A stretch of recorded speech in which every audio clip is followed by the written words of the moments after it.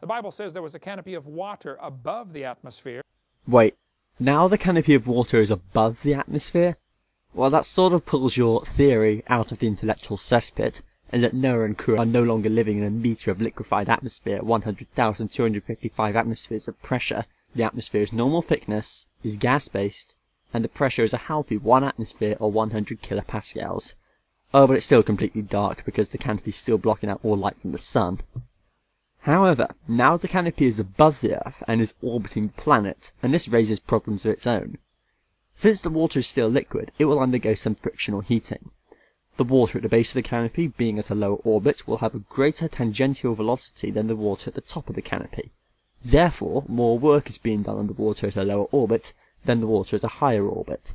This energy difference will be dissipated as frictional heat. So how much will be produced? Well, the formula would be FL delta XL minus FH delta XH equals delta E, where FL and FH are the centripetal forces acting on the canopy at its base and top respectively, and delta XL and delta XH are the displacements of the water at the top and base of a unit column of the canopy respectively. Now, since your diagram shows the canopy of water being very close to the atmosphere, I'm assuming it's just above it.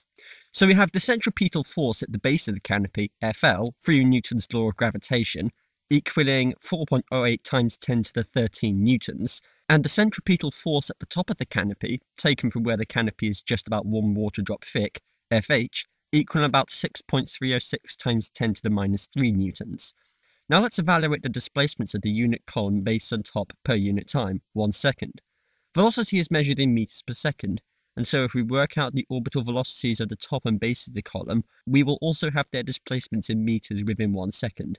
The orbital velocity of a body can be approximated by the square root of the universal gravitational constant, times the sum of the two masses involved, or divided by the square root of the orbital radius. Using this, we have delta XL equaling about 2.02 times 10 to the 9 meters, and delta XH at about 84.19 meters. So now we can plug these values into the expression for thermal energy generated, and look what we get. 8.24 times 10 to the 22 joules of thermal energy produced per second. That is enough to raise the temperature of the unit column of water by about 1.92 times 10 to the 13 Kelvin. And I'm not even going to bother converting that into degrees Celsius because that figure would be more or less the same. Minimum temperatures required to achieve nuclear fusion typically lie between 10 to the 8 and 10 to the 9 Kelvin. If the canopy was miraculously poofed into existence around the Earth during Creation Week, like you claim, it would have instantaneously transformed into a star, the Earth would be completely melted by the immense amount of now solar radiation. Yeah, much more effective way to wipe out life on Earth than a bit of water, would you agree? And water under the crust of the Earth. Water under the crust of the Earth? Well, I mean, the estimated amount of groundwater under the Earth's surface is about 0.65% of the total water on Earth, which is still an immense amount. But I get the feeling that's not what you mean. Psalm 24 says, The earth is the Lord's. he founded it upon the seas and established it upon the floods. I hope you know what that really means, right? See, when God first made the world, the crust of the earth was stretched over. Most of the water that's now on top was underneath the crust of the earth. There were vast subterranean water chambers. There are still huge amounts of water, huge water chambers down in the earth. Just because there are big water chambers underground does not mean that there was once an utterly massive subterranean water chamber extending under the whole Earth, which, like the canopy, has no evidence of having ever existed. The Japanese drilled down, I forget how far, just recently in early 2003, and they said there's probably more water deep in the crust of the Earth than there is on the surface of the Earth. There is no source for this claim, but I'm assuming that you're misquoting him slightly, and that what he meant was there is more groundwater on Earth than there is water in lakes and rivers. Because the alternative of there being more groundwater on Earth than all surface water is just fucking stupid. The Earth has cracks all over it. Seams like a baseball. The Mid-Atlantic Ridge, the uh, San Andreas Fault, the Hayward Fault, the New Madrid Fault, the Golden Fault, the Ring of Fire. Whoa, be careful, Mr. Hovind. Sorry, but I refuse to call you doctor. Only one of those faults is a mid-oceanic ridge, which is where I think you're going with this.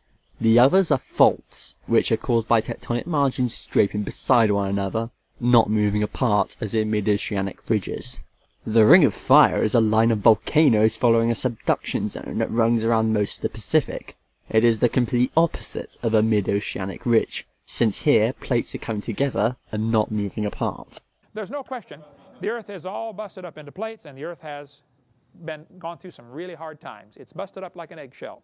I love it when creationists say, there's no question that, as if they're trying to strike common ground with their opponents, is usually the setup to some outrageous straw man or is in itself a half-truth at best.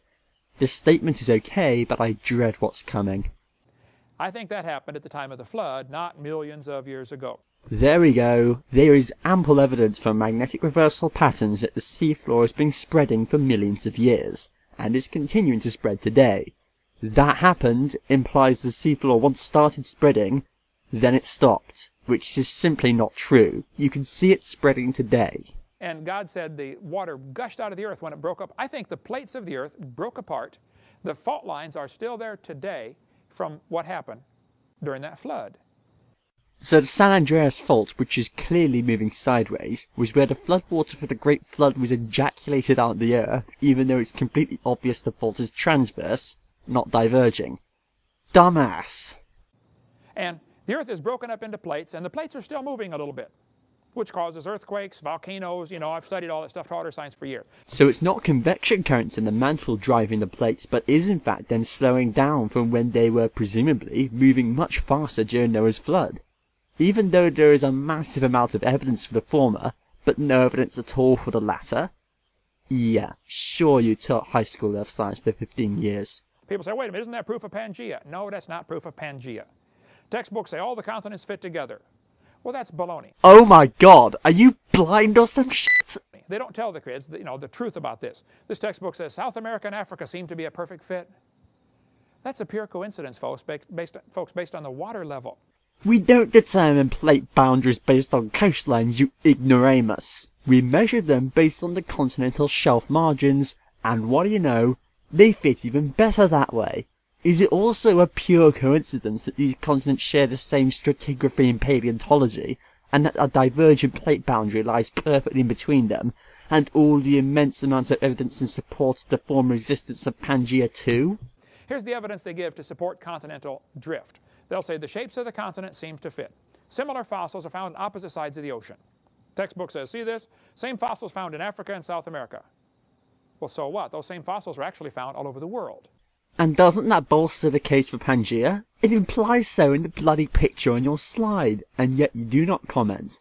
Is it just me or do all you guys think Hovind is full of shit? This is just as much proof of a worldwide flood. No, please. A worldwide flood would just deposit all fossil types uniformly around the world, and we do not find that.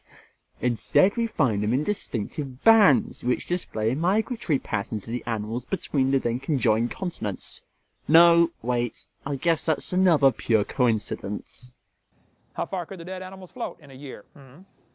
Even if these fossils really indicated the paths of diluvian ocean currents, which there is again no evidence for, these currents are just bizarre.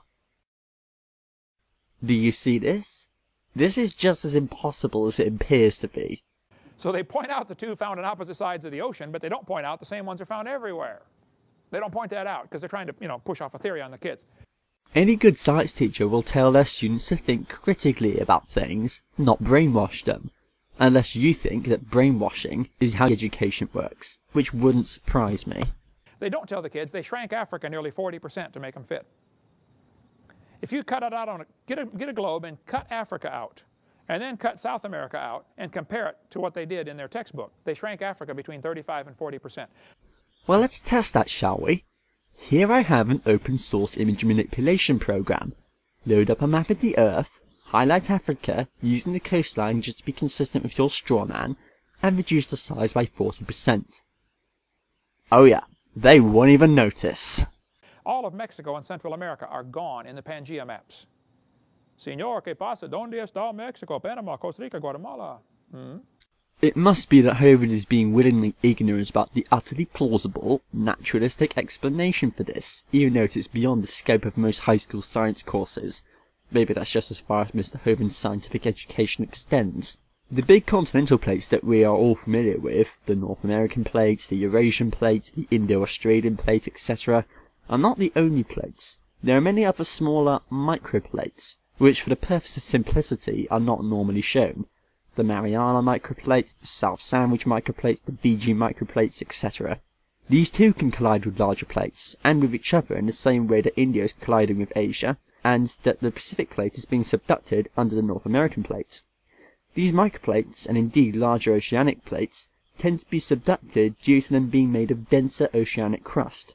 However, if they carry an island or a small landmass, that is not subducted since it is less dense. It is therefore appended to the continental crust, and the continent grows as a result. This is how landmasses such as Central America and Alaska were built up, by the accretion of islands and small continental landmasses through the subduction of oceanic plates and microplates.